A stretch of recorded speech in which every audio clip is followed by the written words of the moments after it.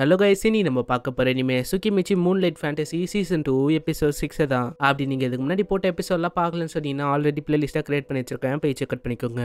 மறக்காம கீழே லைக் பண்ணுங்க சப்ஸ்கிரைப் பண்ணலன்னா சப்ஸ்கிரைப் பண்ணுங்க. சரி வாங்க நம்ம டைம் மிஸ் பண்ணாம எப்பிக்குள்ளே போகலாம். எப்பிக்கோட ஸ்டார்டிங்லேயே நம்ம மக்காட்டோட இன்னொரு ஒரு ட்ரேடிங் கம்பெனி அது வந்து அங்கே தோந்துட்டு இருக்கு. அங்கே பார்த்தா மக்காட்டோவும் சொல்லிருக்கான் இந்த மாதிரி உங்களால் இங்கே வேலை செய்ய முடியாது. நீங்கள் வந்து வேற ஒரு பிரான்ச்சுக்கு போய் வேலை செய்கிற மாதிரி தான் இருக்கும். ஏன்னா அங்கே வந்து ரொம்ப பிஸியாக இருக்காங்க. நீங்கள் போனால் ஒரு உதவியாக இருக்கும். அட நீங்கள் வந்து ஏன் இப்படி பண்றீங்க? நீங்க வந்து இப்படி எல்லாம் பண்ணக்கூடாது. நீங்க வந்து இப்படி பண்ணீங்கன்னா இந்த மாதிரி நாங்க அங்க போயிட்டு அவ்வளவுதான். அங்க இருக்க டோமி வந்து எங்களை என்ன பண்ணுவாங்கன்னு எங்களுக்கே சரியா தெரியல. சரி சரி என்கிட்டயும் அப்ப வேற வழியும் இல்ல. இதனாலேயே அவனும் அந்த ஷாப்பை கட்டி சொல்றான். இந்த மாதிரி இந்த ஷாப்பை நான் மெடிசல் ஃபார்மசியா மாற்றலான்னு இருக்கேன். அதனால நான் இந்த ஷாப்பை மின் நைட் வரைக்கும் தொந்ததா வைக்கலான்னு இருக்கேன். அதனால நீங்க என்ன பண்ணுங்க? இந்த ஷாப்பை வந்து நல்லாவே ப்ரொமோட் பண்றதுக்கு ட்ரை பண்ணுங்க. அதாவது மின் நைட் வரைக்கும் நீங்க வந்து உழைக்கணும். இது வந்து அவ்வளோ பெரிய வேலைலாம் இல்லை. அதுவும் இல்லாமல் உங்களுக்கு வந்து நடுவில் பிரேக்ஸும் கிடைக்கும். அதுக்கும் மேலே உங்களுக்கு மீல்ஸும் கிடைக்கும். இது கேட்ட அவங்களுக்கும் அவ்வளோ சந்தோஷம். இந்த ஒர்க் வந்து போன ஒர்க்கை கம்பேர் பண்ணால் இது வந்து ரொம்பவே ஈஸியானது தான். அதனால நீங்கள் வந்து இதை பண்ணுறது ஈஸி தான். இதை கேட்டு அவங்களும் அங்கே ஒத்துக்கிறாங்க. இதுக்கப்புறம் மக்கட்டும் அங்கே உட்காந்து யோசனை இருக்கான் என்னோட பிஸ்னஸும் என்னோட லெசன்ஸும் நல்லா தான் போயின்னு இருக்கு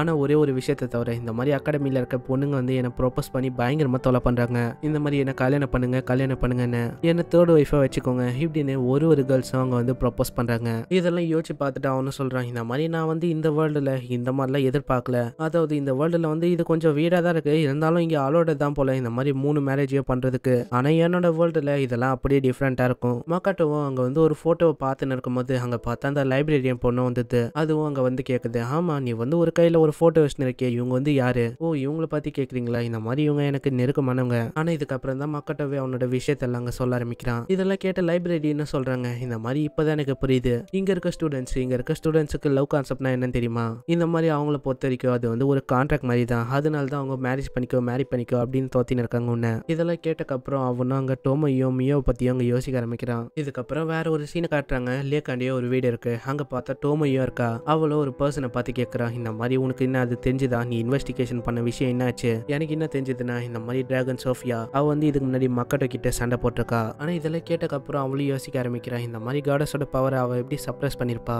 ஆனா இப்படி யோசனை இருக்கும் போதே அங்க யாரோ டோரை தட்டுறாங்க. யாரோ ஒருத்தங்க வந்திருக்காங்க.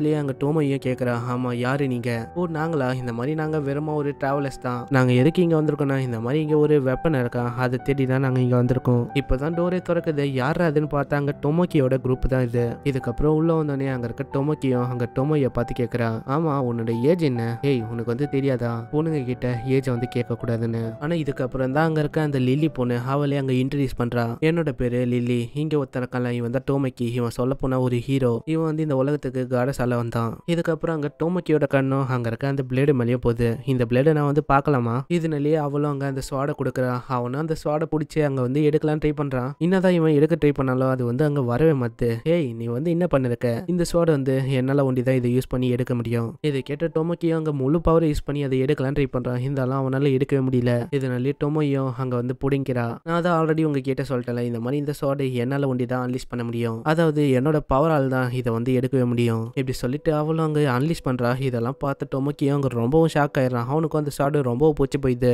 இதனால லில்லியும் கேட்குறா ஹே டொமக்கி இந்த மாதிரி உன்னோட ஸ்வாடு அதோட ரேட்டை வந்து உன்னால சொல்ல முடியுமா? இந்த மாதிரி நாங்கள் வாங்கலாம்னு ஆசைப்படுறோம். இந்த ஸ்வாடை ஒண்டி நீங்கள் எங்களுக்கு விற்றீங்கன்னா இதை வச்சு நாங்கள் நிறைய நன்மைகள் செய்யலாம்னு இருக்கோம். அதாவது ஹியூமன் கைண்டை வந்து நாங்கள் காப்பாற்ற போகிறோம் டீமன் ஆர்மியை வந்து நாங்கள் தோக்கடிக்க போகிறோம் எது? நான் வந்து உங்களை நம்பணுமா? நான் வந்து எதுக்கு உங்களை நம்பணும்? யாருக்கு தெரியும்? இந்த மாதிரி என்னோட வெப்பனை வச்சு உங்களோட வெப்பனை கிரியேட் பண்ணுறது கூட நீங்கள் எப்படி பண்ணலாம். ஆனால் அதுக்குள்ளேயே அங்கே இருக்க டொமக்கியும் அவனோட ஐ பவரை வந்து அங்க யூஸ் பண்ண ஆரம்பிக்கிறான். இதையும் பார்த்து இருக்க அந்த சர்வன்ட் வந்து அங்க மயங்கிடுறான். டொமோய் இவங்க சொல்றதும் கரெக்டா தான் இருக்கு. இவங்களுக்கு வந்து நம்ம சோட குத்துடலாம் இவங்களுக்கு குத்துட்டா அங்க இருக்க ட்ரேடிங் கம்பெனி அதுலயும் நிறைய நல்லது நடக்கவும் வாய்ப்பு இருக்கு. இதெல்லாம் கேட்டு இருக்க டொமோயும் அங்கே ரொம்பவும் கடுப்பாயிரா ஹேய் நீ வந்து வாயை மூடு. இந்த சைடு டொமோக்கியும் சொல்றான். இந்த மாதிரி என்ன பார்த்தோமா? நீ வந்து நம்பல. நான் வந்து ஒரு ஹீரோ நாங்க வந்து ஹீரோஸோட பாட்டி அதனால நீ வந்து என்ன பண்ண? இந்த மாதிரி எங்களோட டீமுக்கு வந்துரு. நீ வந்து என்னோட டீமுக்கு வந்துட்டா. இங்க இருக்க டீமன்ஸையும் டீமன்ஸோட மொத்த கேங்கையும் நம்மளால அழிக்க முடியும். நம்ம அழிச்ச அப்புறம் இந்த மேன் கைனை வந்து நம்மளால அமைதியான ஒரு உலகமா மாற்ற முடியும். இப்படி இவனும் சொல்ல இருக்கும்போது அவனோட ஐயோ யூஸ் பண்றான். இந்த மாதிரி நீ வந்து என்னோட சர்வெண்டா மாறிடு. இப்படி அவனும் சொல்ல ஆனா அங்க பார்த்த எந்த விதமான எஃபெக்டும் இல்ல. ரொம்ப ஐயோ சொல்றான் இந்த மாதிரி நீ வந்து அந்த கண்ணை வச்சு பார்க்கறத ஃபர்ஸ்ட் நிறுத்து. உன்னோட ஐ வந்து எனக்கு டிஸ்கஸ்டிங்கா இருக்கு. நீ வந்து என்னோட மாஸ்டர் கையில நிறைய விஷயத்த கத்துக்கணும். ஆனா இருந்தாலும் பைப்புல அங்க அவனோட சாமிங் பவரை அங்க யூஸ் பண்ண ஆரம்பிக்கிறான். இருந்தாலும் அங்க எதுவுமே ஒர்க் ஆகல. ஹேய் நீ வந்து என்ன பண்ணிருக்க? நீ வந்து என்னதான் பண்ணலாம் இது வந்து வேஸ்ட் தான். ஏன்னா என்னோட மைண்டும் என்னோட பாடியும் அது வந்து என்னோட யங் மாஸ்டருக்கு கொண்டி தான். இதுக்கப்புறம் தான் அங்கே இருக்க ஒரு சர்வன் பொண்ணு சொல்லுது. உன்னை பார்த்தாலே தெரியுது உன்னோட பிரசன்ஸை வச்சே நல்லா சொல்ல முடியுது. இந்த மாதிரி நீ ஒரு பவர்ஃபுல்லான டிராகன் தானே? அங்கே இருக்க லில்லியும் சொல்கிறா அப்போனா நீ இந்த ரீஜியனில் இருக்க எலைக்கா அந்த டிராகனா நீ? இல்லை நான் வந்து அவ இல்லை. ஆனால் அதுக்குள்ளே அந்த சர்வன்ட் பொண்ணு அவளோட மேஜிக் யூஸ் பண்ணினே சொல்கிறா நீ வந்து எங்களோட பார்ட்டியை ஜாயின் பண்ணு. நீ வந்து டொமோக்கிக்கு சர்வ் பண்ணு. இப்படின்னு அவளை சொல்லி நான் அவளோட மேஜிக் யூஸ் பண்ண. இருந்தாலும் அந்த மேஜிக் வந்து அங்கே ஒர்க் அவுட்டே ஆகலை. நீ வந்து உன்னோட டிராகன் சாமினிங் டெக்னிக் இதை வந்து ஃபர்ஸ்ட் நிறுத்து. ஏன்னா இதெல்லாம் என் மேலே யூஸே ஆகாது. இதுக்கப்புறம் அவ்வளோ அவளோட பவர் யூஸ் பண்ண இதனால அதுவும் அங்கே டிஃப்ளெக்ட் ஆயிடுது இதெல்லாம் பார்த்துன்னு இருக்க டொமோக்கியோ அங்கே ரொம்ப கடுப்பாயிடறான். அவனும் அவனோட அட்டாக்கை அங்கே இருக்க அந்த சர்வன் மேலேயே பண்ணிடுறான். இதெல்லாம் கேட்டு இருக்க டொமோக்கியும் சொல்கிறான் இந்த மாதிரி நீ ஒரு சாதாரணமான ஹியூமன் தானே நீல என்ன தாக்கலான்னு இருக்கியா? ஏ வாய மூடு இந்த மாதிரி நான் ஒரு ஹீரோ ஆனால் டொமோயி வந்து அந்த சர்வன்ட்டை காப்பாற்றணும்னு அங்கே ஒரு இல்யூஷன் மேஜிக்கையும் பர்ஃபார்ம் பண்ணிடுறா. அவளும் அந்த மேஜிக் யூஸ் பண்ணி அவனை வந்து உள்வாங்கிடுறா. ஏய் நீ வந்து ரொம்ப வீக்காக இருக்க உன்னை பார்த்தாலே தெரியுது. நீ வந்து ரொம்ப வீக்காக தெரியுற. நீ இதனால தானே நீ இப்படி ஆக்ட் பண்ணிருக்க?